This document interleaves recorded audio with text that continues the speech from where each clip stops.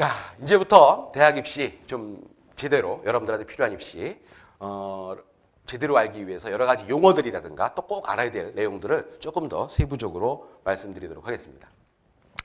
수시 모집, 정시 모집 그러는데 어제 발표된 내용에 따르면 2015학년도는 전체적으로 한 수시에서 65, 그죠? 어, 수시에 에, 65, 그 다음에 정시가 35, 뭐 이 정도라고 하는데 사실은 그건 전체 대학 기준으로 그렇고요. 우리가 어, 가고자 하는 그 주요 대학 중심으로 보면 사실은 정시가 꽤 그 전보다 꽤 많이 는 그런 상태입니다. 어쨌든 전체적으로 보면 어, 정시와 수시 모집 2014년도 기준입니다. 주요 15개 대학 기준으로 봤을 때 수시 모집이 67%, 정시가 32, 그리고 수시 모집이라는 것은 그 안에 앞에서 말씀드린 것처럼 학생부 종합, 그 다음에 학생부 교과, 논술, 실기로 이루어진다.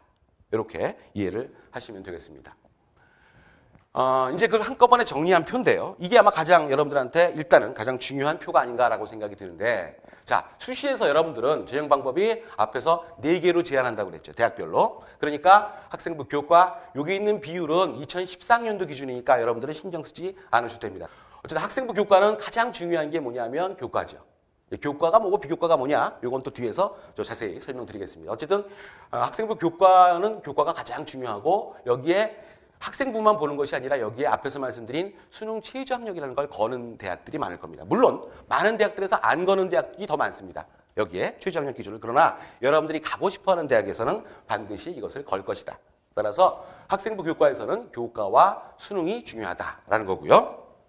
그 다음에 학생부 종합에서는 교과도 중요하고 비교과. 이 학생부 종합은 바로 예전의 입학수정관 전형과 유사한 겁니다. 역시 이 학생부 종합의 평가는 입학수정관들이 하는데 입학사정관이라는 용어를 쓰지 못하게 해서 지금 학생부 종합이라고 하는 어, 표현을 쓰고 있는데 여기에는 비교과가 중요합니다. 면접도 중요하고 또 경우에 따라서는 학생부 종합에도 수능 최저 학력 기준을 겨는 경우가 어, 학- 여기보단 덜하지만 거는 경우가 많다. 이해를 하시고요. 논술, 논술에서 당연히 가장 중요한 요소가 논술이겠죠. 그러나 논술만 가지고 뽑는 대학은 그리 많지 않을 겁니다. 아마 논술만 가지고 뽑는 대학은 그리 많지 않고 여기에 학생부가 좀 들어가고 또 수능 최저학력 기준도 들어가고 자 실기는 넘어가겠습니다. 정시는 실기를 빼면 수능인데 뭐가 가장 중요했어요? 당연히 수능이 중요한 거죠. 여기서는 수능 최저학력 기준이 중요하고 여기서는 수능 점수가 중요하다. 이렇게 이해를 하시면 됩니다. 자 표를 쭉쭉 보니까 여러분들이 저- 대충 정리가 되겠죠. 아, 내가 지금 어디에 좀 초점을 맞춰야 되는구나. 되겠구나. 학생부는 교과. 학생부 교과는 교과의 중심으로. 학생부 종합은 교과, 비교과, 수능 최저학력. 또 면접. 논술은 교과, 논술. 그러니까 이 위주라고 하는, 아까 위주라는 표현을 썼는데 위주라고 했지 그것만 가지고는 아니란 뜻입니다. 그러니까 일부 언론에서 어제 뭐 그런 얘기가 나오죠. 사실 간소화는 했다고 치지만 어떤 의미에서는 이 표를 보시면 알겠지만 어떤 의미에서는 학생들의 부담이 그렇게 줄어든 것 같지가 않지 않느냐. 그러니까 학생부를 가지고도 사실은 수능 최저학력 기준이 있으니까 학생부 준비도 잘해야 되지만 수능 준비도 잘해야 되고 논술도 있다고는 하지만 수능 준비 잘해야 되고 수능은 당연히 수능 준비 잘해야 되고 이러니까 대충 오늘 제가 여러분께 드릴 말씀에 답이 이 표만 봐도 나오게 되는 거죠. 아 어디에 중점을 둬야겠구나. 어, 뜬금없이 그냥 1, 2년 잘 지내다가 여기 혹시 계신지 모르겠습니다만 우리끼리 얘기지만 어, 어제 문득 그런 생각이 들었어요. 어제 그 대입 2015학년도 대입 발표를 보면서 1, 2학년 아무 생각 없이 그냥 학교 덜렁덜렁 다니던 친구들이 너네 이제 고3이 이제 올라가는데 현 고2 학생들 말입니다. 고3이 돼서 올라가는데 그런 친구들이 야 너네들 이제 가장 많은 전형 가장 중요한 게 이제 학생부야. 그러니까 학생부로 이제 대학 가야 돼. 뭐 이렇게 얘기를 들었을 때 그들이 받을 충격을 한번 생각해 보세요. 그렇잖아요. 이미 끝난 거 아닙니까? 1, 2학년 학생부 다 끝났는데 너 그거 갖고 대학 가야 돼. 굉장히 그 친구들이 좀 멘붕에 빠지지 않았을까라는 그런 걱정이 들었는데 그래도 여러분들은 정말 다행이죠. 여러분들은 이 자리에 또 이 자리에 오셔서 아 내가 이제 앞으로 고등학교에 올라가면 어떤 공부를 어떻게 해야지 대학 들어가는데 유리하게, 유리하겠구나라는 생각을 아마 하실 수 있는 좋은 기회가 되리라고 생각이 됩니다. 자 수시 모집을 좀 자세히 말씀드리도록 하겠습니다. 수시 모집이란 많이 뭐 지금 한 어, 주요대학 기준으로 보자면 한 6대 4 정도가 되지 않을까. 여러분 때는 좀 5대 5쯤 될 것 같고요. 느낌에 제 추정에 아무튼 반 정도 되는 이 수시 모집은 아이고 죄송합니다. 선 지원 후 시험제다. 그러니까 먼저 9월에 지원을 합니다. 내가 갈 대학, 내가 가고 싶은 대학에 지원을 합니다. 그런데 자기의 수준을 알고 합니까? 모르고 합니까? 잘 모르고 하는 거죠. 그죠? 잘 모르고 하는 겁니다. 그래서 먼저 지원을 하고 나중에 이제 시험을 보는 그러한 아, 수, 것이 이제 수시모집의 특징이고 두 번째는 접수는 수능 이전에 하고 대학별고사는 수능 이전에 하는 연세대학교 논술 같은 경우는 수능 이전에 받고요. 수능 이후에도 실시합니다. 총 여섯 번의 지원 기회가 있습니다. 여섯 장이 여러분들한테 특권입니다. 여섯 군데를 여러분들이 수시를 통해서 지원할 수 있습니다. 그리고 이 수시 모집에서는 대체적으로 수능 최저 학력 기준이 적용됩니다. 왜냐하면 아직 지원을 했고 시험을 그 시험을 보는데 그 시험 플러스 그것만 가지고는 좀, 미, 음, 좀 미흡하니까 수능 최저 학력 대학별로 정한 최저 학력 기준을 적용한다. 그 다음에 이거 굉장히 중요한 겁니다. 수시 모집에 합격하면 추가 합격자라도 정시 모집에 지원이 불가능하다. 아마 이 대구에서는 대구 언론에서 이 수시 모집에 어, 서울대학 저기 어떤 과에 합격해갖고 의대에 갈 정시 점수를 받고 어? 의대를 가지 못했던 학생의 건이 언론에서 굉장히 몇 년 전에 나왔기 때문에 잘 아실 텐데요. 수시 모집에 합격하면 추가 합격자라도 정시 모집 지원이 불가능하다. 얘와 얘를 한번 합해 보겠습니다. 잘 보세요. 얘와 얘를 합합니다. 수시 모집에 합격하면 내가 정시에 수능을 아무리 잘 봤더라도 정시 모집에 지원이 불가능해? 오, 그러면 선 지원할 때 내 실력만큼 지원할까요? 내 실력 이상으로 지원할까요? 그렇죠. 이미 자신의 실력이 아직 나오지 않은 시험 보기 전인 상태이기 때문에 이 지원은 다소 대체적으로 상향 지원입니다. 그렇죠? 내가 갈 수 있는 대학, 내가 가고 싶은 대학 중심으로 왜냐하면 그냥 합격을 위해서만 지원했다가는 어떻게 돼요? 정시에서 정말 제대로 자기 실력만큼 가지 못할 수가 있기 때문에 여기에서는 대부분이 상향 지원합니다. 그렇기 때문에 어때요? 대부분이 떨어지죠. 그런 거예요. 예? 수시 모집으로 들어갔다는 소리를 어 걔는 뭐 학생부도 별로인데 어떤 수시 모집 걔 뭐 이상하게 논술 대충 어떻게 갖고 들어갔어? 어, 우리 옆집에도 그런 애 있는데. 어 내가 내 친구가 딸도 그런데. 그거 하나입니다 하나이. 예? 그렇게 많은 게 아니라 대부분 많이 떨어집니다. 그 성향이 그렇기 때문에 떨어지고. 그래서 이제 또 추가 모집을 하죠. 그래서 충원하는데 그렇게 추가 모집을 해도 다 충원이 안 됩니다. 그래서 그 인원이 정시로 이월됩니다 이것도 아울러 알아두십시오. 자, 그럼 좀 더 자세히 앞에서 말씀드린 거 반복 워낙 중요하니까 학생부 교과는 뭐가 제일 중요하다? 교과가 제일 중요하다. 비교과 조금 중요하고 수능 기준 중요하다. 학생부 종합은 다 중요하고 여기에 면접도 준비해야 되고 수능도 준비해야 된다. 그 다음에 논술, 논술 중요하고 학생부 교과 중요하고 수능 중요하다. 실기 넘어간다. 자, 그 다음에 이제 학생부 위주의 전형을 좀 더 깊이 들어가겠습니다. 학생부 전형은 앞에서 말씀드린 것처럼 교과와 종합으로 나뉜다고 했는데 어느 게 좀 많습니까? 저기 보시면 종합이 좀 많죠. 그렇죠? 지금 교과도 많이 이번에 2015년 때 많이 늘렸습니다만은 예. 학생부 위주 전형을 보면 먼저 교과 앞에서 이제 교과 비교과란 말이 자꾸 나오는데 이게 뭐냐? 이제 이렇게 생각을 하실 텐데 교과란 흔히 여러분들이 말하는 내신 성적입니다. 그리고 내신 성적이고 이건 학기제로 운영됩니다. 학생부라는 게 학교생활 기록부거든요. 학교생활 기록부에 있는 여러분들의 점수. 즉 어떤 점수냐? 한 학기 성적은 중간고사 점수 플러스 기말고사 점수 플러스 20% 정도의 수행평가. 여러분 잘 아시죠? 중학교 때 하셔갖고 수행평가. 이것이 한 학기 성적이 된다. 그런데 수시 모집에서는 아마 우리 저 중학교 학생들은 잘 모르셨을 텐데요.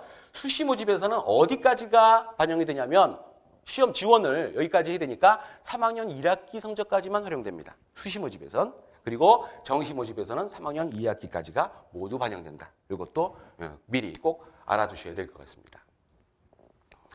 그 다음에 여기 저 한 학생이 학생의 성적표를 봤습니다. 학생부 교과 성적표를 봤더니 얘가 교과입니다. 잘 보세요. 국어는 교과입니다. 그리고 국어 교과 안에 문학, 뭐 문학원, 문학투, 뭐 그다음 독서 등등의 과목이 있는 겁니다. 과목. 그래서 이 과목별로 이루어지는데 단위수. 성적표에는 어떻게 기재가 되냐면 원점수, 자기가 받은 점수가 기록되고요. 이 점수는 중간, 기말, 수행평가가 다 합해진 점수고요. 그 다음에 그 과목을 본 학생들의 과목 평균과 표준 편차가 기록되고 석차 등급과 수강생, 그 수강자 수가 기록됩니다. 얘는 1등급이에요. 1등급, 1등급, 1등급, 1등급, 1등급, 1등급. 기술 과정은 2등급. 야, 굉장히 전략적인 친구입니다. 이 친구는. 이 친구는 학생부 위주의 전형으로 가면 거의 붙을 확률이 매우 높은 학생입니다. 다 1등급이잖아요. 그렇죠? 다 1등급. 여기도 보면은 1등급, 1등급, 1등급, 1등급, 1등급, 1등급. 어허, 얘는 한문. 이 친구 보세요. 한문. 한문을 못 봤네요. 그죠? 한문 기술 과정. 요거 왜 전략적인지 이따가 말씀드리도록 하겠습니다. 자, 그 다음에 말씀드린 것처럼 학생부를 평가할 때 점수가 가는 것이 아니라 뭐가 들어가는 거냐면 과목별 석차 등급이 활용된다. 이 부분 잘 볼까요? 이게 이제 수능 등급과 똑같습니다. 등급은 산출 방법은 다르지만 자 어쨌든 전체 인원의 4%까지를 1등급을 주고요. 이 7%까지를 나머지 그러니까 누적 이게 중요합니다. 누적 11%가 2등급이 된다는 겁니다. 그런데 2등급 받는 인원들을 대충 보면 지금 여러분들이 가고 싶어하는 대학은요. 요 안에 있어야 됩니다. 학생부로 가려면. 그러니까 여러분들이 적어도 한 10% 안에는 들어야지 된다. 라는 말씀을 아까 제가 드렸죠. 9점 몇 퍼센트. 그러니까 여러분들의 내신 등급이 2등급을 넘으면 학생부 위주로 가기는 좀 곤란하다. 여러분들이 가고 싶어 하는 대학 기준으로 봤을 때. 그러니까 여러분들이 공부를 얼마나 열심히 해야 되는지 아마 아실 겁니다. 좀 미안한 얘기지만 5등급까지의 누적 퍼센티지가 60%입니다. 아까 우리나라의 모집 정원 200개, 한 197개 대학의 모든 모집 정원과 학생 응시자 수를 계산해 봤을 때 여기 이하의 여기는요, 대학을 못 갑니다. 이쪽은 그냥 다른 방법을 생각해 봐야 됩니다. 뭔가 인생에 대한 진지한 고민이 필요한 학생들입니다. 그러니까 적어도 여기까지는 5등급까지는 수능이건 내신이건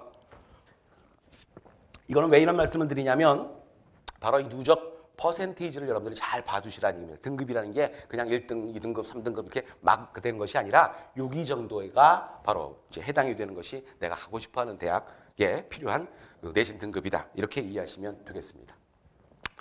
자, 수시와 정시의 학생부 교과 방, 어, 반영 방법이 다르다라는 말씀을 드리는데요. 서울대 연고대는 수시 모집에서 전 교과를 반영합니다. 앞에서 교과라는 말씀 드렸죠. 교과와 과목은 다른데 전 교과를 반영하고요. 그 다음에 수시에서 나머지 대학들은 국영수, 사, 전 과목을 반영. 아까 제가 그 학생 성적표를 보면서 이 친구는 굉장히 전략적이다라는 말씀을 드렸죠. 예? 여기 뭐가 빠져 있습니까? 바로 기술과정, 제2외국어 한문이 빠져 있는 거예요. 아시겠죠? 자, 그런데 정시 모집에서 서울대 같은 경우에는 반영하지 않고 정시 모집에서는 바로 국영수 일부 과목, 이 일부 과목은 좀 이따 말씀드리도록 하겠습니다. 자, 예를 들어서 학생부 교과 반영 방법이 지금 말씀드린 그 내용입니다. 그래서 서울대 연고대는 전 교과를 반영하고 그 다음에 서강대나 성균관대, 한양대, 학업부시아 같은 경우는 이렇게 이건 물론 바뀔 가능성도 있습니다만 2014학년도 기준, 대학 기준을 말씀드리는 겁니다. 여기 보십시오. 국영수사 과학 연대나 고대는 관련 과목 중 각각 상위 3과목을 해서 3, 40이 12과목을 반영하는 대학입니다. 잘 기억해 주세요. 그 다음에 여기 국영수사 사회과학은 이제 계열급이니까 국영수 이 문제는 국영수사 중에서 상위 두 과목을 반영하는 대학이 서강대학입니다. 자 이쯤 되면 어, 대충 이제 그림이 나오죠. 여기서 아예 말씀을 드리고 가겠습니다. 내신 준비를 어떻게 하는 것이 가장 바람직하느냐? 제가 팁을 드리겠습니다. 내가 이제 고등학교 올라가면 학생부 관리 잘할 거야. 공부 잘할 거야. 중학교 때까지는 좀 놀았지만 이제 정말 대학에 가기 위해서 학생부가 중요하다고 하니까 나 정말 공부 잘할 거야. 어떻게 할 거냐? 1번. 어떻게 하면 됩니까? 전 교과를 다 열심히 하면 돼요. 전 교과를 모든 과목에서 1등급 내지 2등급이 나올 수 있도록 열심히 공부하면 돼요. 여러분들이 지금 웃으셨는데 쉽지 않죠? 그렇죠? 쉬워요? 네, 쉽지 않아요. 그럼 두 번째 방법. 그게 힘들다. 그럼 어떻게 해야 돼요? 예, 주요 과목 국영수 사과 중심으로 해야 돼요. 아시겠죠? 좀 낫죠?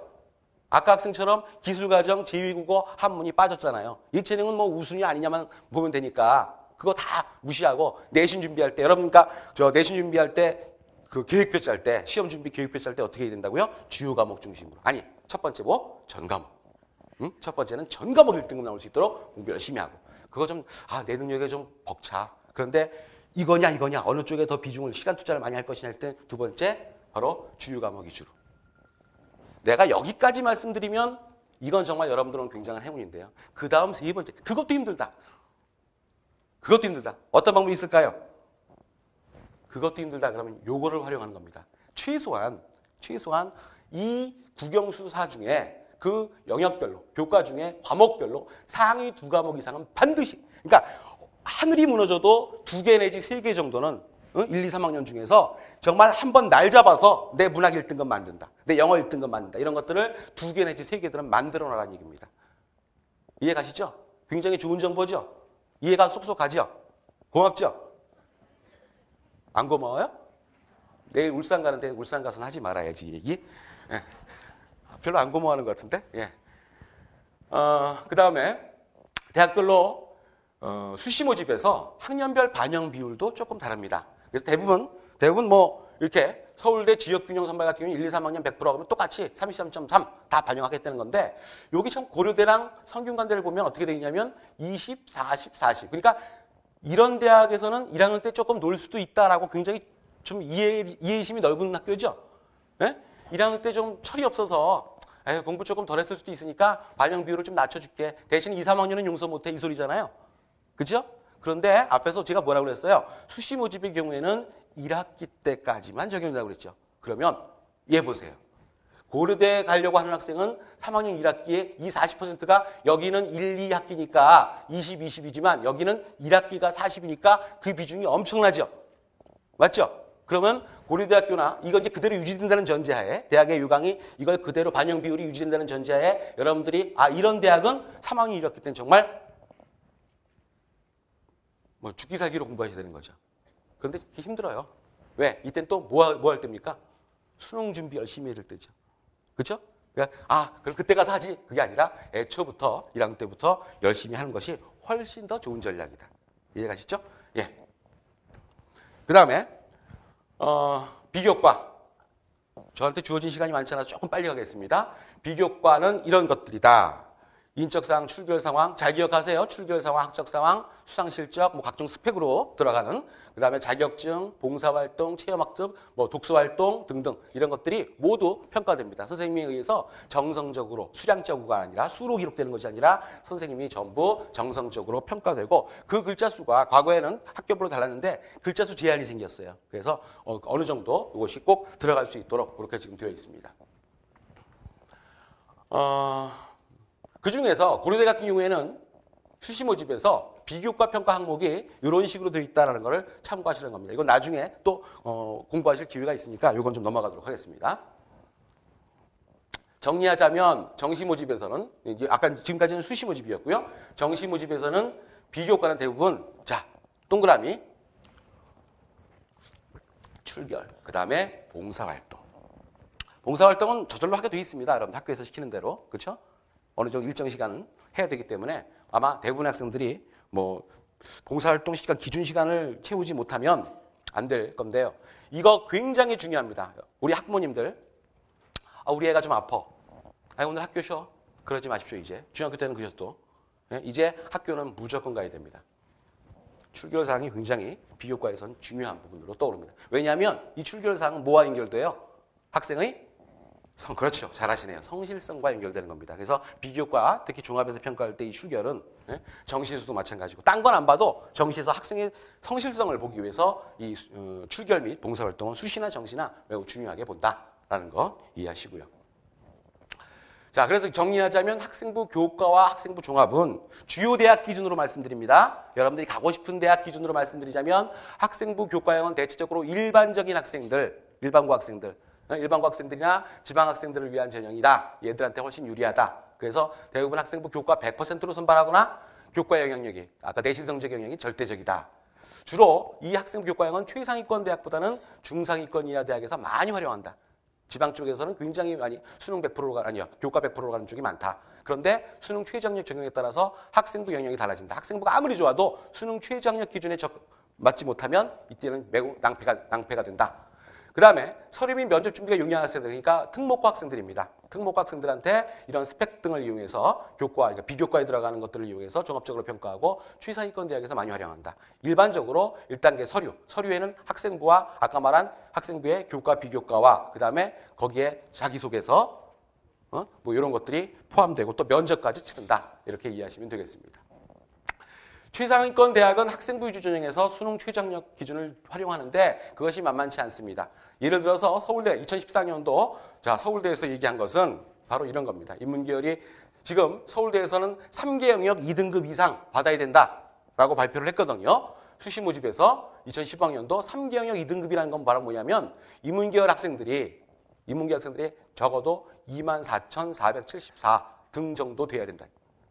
이 정도밖에 없다라는 겁니다. 일단 자연계는 13,000. 그러니까 이 만만치 는 않다. 학생부를 아무리 잘해도 여기에 여기에 들어가지 못하면 안 된다. 학생부가 아무리 좋아도 수능 최저 기준에 못 미치면 안 된다라는 것도 아울러 알아두시기 바랍니다. 아, 논술에 대한 관심들이 굉장히 많죠. 네. 지금 언론에서는 뭐 논술이 4%다. 이렇게 지금 나와 있어요. 네. 그거는 전체 200개 대학이 그렇다는 얘기고요. 논술 보는 대학은 바로 상위 한 20개 대학입니다. 무슨 소리인지 아시겠어요? 그러니까 여러분들이 가고 싶은 좋아하는 대학은 전부 논술을 본다. 이렇게 이해를 하시면 됩니다. 그런데 상위권 대학이 실시하는 대학별 고사고 글짓기 평가는 아니고 대부분 이른바 정답이 어느 정도 정해져 있는 여러 가지 조건 등을 통해서 정답이 정해져 있기 때문에 나름대로의 어떤 그 객관성과 공정성을 가지려고 노력을 어느 정도 준비가 되어 있는 그런 시험이고요. 인문 계열과 자연 계열의 영향이 다르다. 자, 난이도는 어떻게 될지 모르겠습니다. 이거는 어, 그냥 넘어가도록 하겠습니다. 지금 여러분들한테 필요한 내용은 아니고요. 하지만 분명한 거는 이럴 수는 있을 겁니다. 아마 미리 말씀드리는데 내년 2010학년도에 논술 전형의 학생들의 경쟁률이 무진장 높아질 겁니다. 왜냐하면 학생부는 제가 아까 뭐라 그랬어요? 2등급 이내에 학생부가 안 돼요. 그래서 학생부 위주 전형에 갈 수가 없어요. 그런 학생들은 수능은 공부를 하고 있는데 아직 잘 몰라. 그러면 나머지는 뭐예요? 논술밖에 없겠죠? 그러니까 3, 4, 5, 6등급, 사실은 6등급은 안 되는데 3, 4, 5등급 학생들이 논술에 올인할 가능성이 있죠. 수시. 왜냐하면 6회를 써야 되니까, 한 번에. 이해 가시죠? 근데 될 확률은 10대 1 정도가 될 겁니다. 예? 그래서 그건 거의 뭐 실력이라기보다는 10대 1 정도의 그 경쟁률 속에서 경쟁률은 매우 높아지죠. 여러분들은 그 현상을 분명히 그런 현상이 일어날 텐데 여러분들은 그 현상을 보면서 오, 저 논술이 저렇게 중요한 거야? 애들이 전부 논술로 가는 거야? 하면서 거기에 휩쓸릴 필요는 없다. 아시겠습니까? 이건 분명히 선을 그어야 돼요. 내년에 그런 현상이 일어날 게 뻔한데 그게 과연 논술의 중요성 때문에 그런 것은 아니다. 어쩔 수 없어서 그런 거다. 왜? 학생부가 안 되니 늘 기회는 주어졌고 그 기회를 활용을 해야 되겠으니 어떻게? 방법은 논술밖에 없다. 이해 가시죠? 네, 그렇게 미리 알아두시면 굉장히 어, 좋은 정보라고 생각하시면 될 겁니다. 자, 정시 모집입니다. 정시 모집은 수시와 다르게 선시험, 수능이라는 시험을 보고 난 다음에 그 점수에 따라서 지원을 합니다. 그러니까 굉장히 좀 나름대로는 어때요? 좀 신중한 지원이 되겠죠. 요즘 정시 원서 접수철인 거 아시죠? 학생들이 고민하고 고민해서 내 점수 갖고 어느 대에 갈 수 있을까 고민해서 가는 거고요. 수능 성적 발표 후 수시 모집 전형이 다 마감된 뒤에 원서 접수가 시작되고 그다음에 가나 다군에 총 세번의 지원 기회가 있다. 물론 산업대학이나 경찰대, 사관학교 등은 군과 관계없이 지원 가능하다. 수능 성적이 합격의 절대적인 요소다. 수능 굉장히 정시에서는 뭐 수능이 굉장히 중요하죠. 여기는 뭐 사실은 학생부를 어, 부가적으로 보긴 보는데 그럼에도 불구하고 학생부를 보는 까닭은 서울대는 아예 안 보고요. 안 보고 왜냐하면 수능 성적만을 보겠다. 그런데 학생부를 보는 까닭은 그 밑에 있는데 동점자, 비슷비슷한 학생, 예를 들어서 연대 같은 경우에는 일정 점수대의 비슷비슷한, 비슷비슷한 학생들이 많이 모이겠죠? 그 점수대 학생들이. 이해 가시죠? 그럼 얘 중에서 누굴 뽑을까를 보고 참고 자료로 쓰기 위해서 학생부를 집어넣는 겁니다. 예, 그렇게 이해를 하시면 되고요. 그래서 서울대는 수능 100%, 최상위권 대학은 학생부를 조금 보이지도 않죠? 빨간색이. 그 다음에 중하위권 대학에서는 학생부도 중요하다. 왜? 성실해야지 얘가 우리 대학을 열심히 다니면서 공부 열심히 해서 우리 대학을 빛낼 거 아니냐. 들어올 때는 조금 헤맸지만 수능 점수는 좀 낮지만 이해 가시죠? 예, 그런 차원이다. 정시 모집 군별 이 군별 군별 모집은 여러분들 때는 또 바뀔 거기 때문에 이거는 그냥 넘어가도록 하겠습니다. 정시 모집이 얼마나 중요한 거냐면 내신 5등급 받은 A 수험생과 내신 1등급 받은 B 수험생이 있어요. 얘는 학교 생활을 굉장히 열심히 한 친구예요. 그런데 표정이 왜 저럴까요? 자, 얘는 수능을 525점을 맞고 얘는 530점. 아, 수능은 얘가 더잘 받네요. 얘는 미친 듯이 수능 준비를 안 해네요. 그죠? 어, 미치진 않았는데 아무튼 미친 듯이 하네죠. 내신 5등급, 내신 관련 형편 없는데 아까 뭐라고 했어요? 5등급 정도면 대학을 좀 포기해야 되는 희망이 생겼죠? 여러분들 혹시 어, 5등급이어도 내가 앞에서 말씀드린 것처럼 대학 말고 다른 인생 진로를 생각해라 라고 말씀드렸는데 이런 경우도 있다. 그러니까 믿음을 갖고 수능 530을 받는데 서울대 정시 인문계열에 누가 합격했냐? A 수험생이 합격했다. 왜? 수능이 중요하기 때문에. 이해 가시죠? 예. 아... 그 다음에 고대 연대는 학생부 교과가 아까 보시면 알겠습니다만 이 성실성 보는 거고요. 이거는 아마 비슷비슷한 아이들이 많이 오기 때문에 여기서 학교 공부는 어땠는가를 한번 확인차 보기 위해서 이 정도로 들어가게 된 거고. 자, 또 하나는 수능 영역별 가, 중치가 다르다. 국영수, 어? 국어, 수학, 영어, 탐구를 보는데 그게 다 똑같지 않다. 대학별로 인문계와 자연계열이 다릅니다. 여러분들이 이제 고등학교 2학년에서 인문계와 문과와 이과를 어, 선택하게 될 텐데 자, 바로 이겁니다. 예를 들어서 고려대 같은 경우에는 똑같습니다. 연대나 고려대는 똑같은데 어떤 대학은 여기는 국어에 30%, 수학 25%, 영어 아 여기는 영어 잘 보는 학생들이 유리하구나. 대- 반면 탐구는 아주 10%밖에 반영이 안 된다. 그러니까 가중치가 다르다. 그래서 어느 과목에 더 집중을 해야 되는지 내가 가고자 가는 대학이 어떤지 이런 것도 나중에 뭐 지금은 필요 없고요. 나중에 이런 것들도 봐 두셔야 됩니다. 인문계가 그렇고요. 연대도 똑같죠? 자, 자연계 볼까요? 자연계는 자연계는 고대를 보니까요. 고대를 보니까 자연계 20, 30, 오! 탐구가, 인문계와 다르게 탐구가 굉장히 높, 최소한 20% 이상의 가중치. 그렇죠? 20 정도가 되고 있죠. 그러니까, 아, 보니까 자연계는 수학과 탐구가 중요하구나. 정시에서 그렇게 이해를 하시면 되겠습니다. 예. 똑같은 내용입니다. 넘어가겠습니다.